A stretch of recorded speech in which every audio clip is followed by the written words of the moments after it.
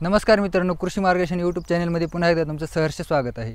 शेतकरी मित्रांनो आपल्या चॅनलवरती नवीन असाल तर चॅनलला सबस्क्राईब करून घ्या आणि जवळ असलेल्या बेल आयकॉनलाही प्रेस करून घ्या जेणेकरून अशाच प्रकारचे शेतीविषयक नवीन व्हिडिओ तुम्हाला सर्वात अगोदर आपल्या चॅनलवरती पाहायला मिळतील.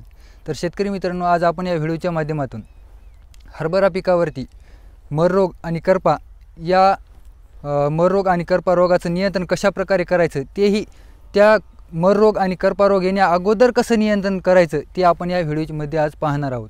तर शेतकरी मित्रांनो व्हिडिओ हा सुरुवातीपासून शेवटपर्यंत पहा जेणेकरून व्हिडिओमध्ये दिलेली संपूर्ण माहिती तुमच्या लक्षात येईल व तशा प्रकारे तुम्हाला नियोजन करता येईल.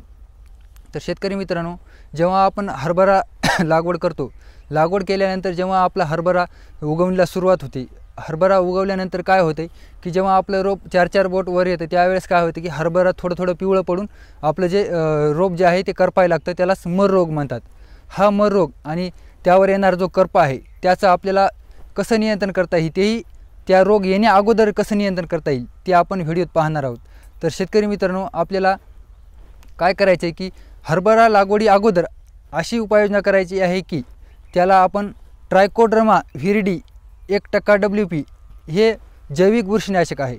तर या बुरशीनाशकामध्ये आपल्याला ट्रायकोडर्माचे एक दहा ते बारा उपप्रकार आहेत.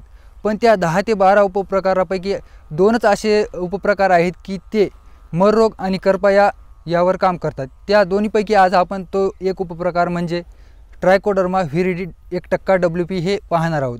तर हरभरा लागवडी लागवडीच्या अगोदर काय करायचं आहे की ट्रायकोडर्मा एक टक्का डब्ल्यू पी व्हिरिडीची आपल्याला हरभरा हरभऱ्याला एक किलो बियाण्याला नऊ ग्रॅम वापरून आपल्याला हरभऱ्याची बीज प्रक्रिया घेऊन करून आपल्याला बियाणं सावलीत वाळून घ्यायचं आहे.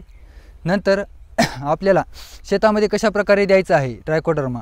तर काय करायचं आहे? प्रति हेक्टरी आपल्याला अडीच किलो ट्रायकोडर्मा घेऊन त्याचबरोबर शेण दीड किलो शेणखत मिक्स करून आपल्याला लागवडीच्या अगोदर हे दोन्ही मिक्स केलेले शेणखत आणि ट्रायकोडर्मा हे आपल्या शेतामध्ये फेकून द्यायचे आहेत आपल्याला.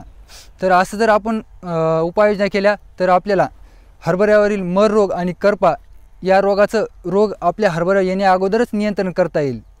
तर शेतकरी मित्रांनो तुम्हाला हा व्हिडिओ कसा वाटला कमेंटमध्ये नक्की कळवा आणि आतापर्यंत आपल्या चॅनलला सबस्क्राईब केलं नसेल तर सबस्क्राईब करून घ्या. धन्यवाद.